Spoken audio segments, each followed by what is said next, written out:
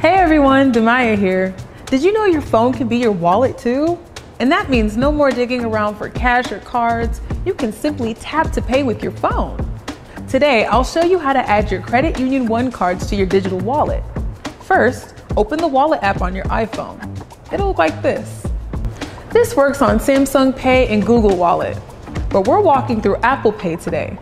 Once the app is open, tap the big plus button. Next, you'll see a few options. You can add a card you've used before by tapping previous cards, or add a new card by tapping debit or credit card. We're adding a new card, so tap debit or credit card and hit continue to move on to the next step. To add your card, you've got two options. Hold your card close to your iPhone and it'll scan automatically.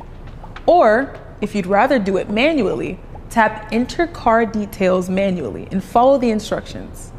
Once all the information is input, you're all set. Some banks might ask for extra steps like verifying your info or downloading an app. Don't worry, that's just for extra security. And that's it. Your phone is now your wallet you're ready to shop and pay cash free.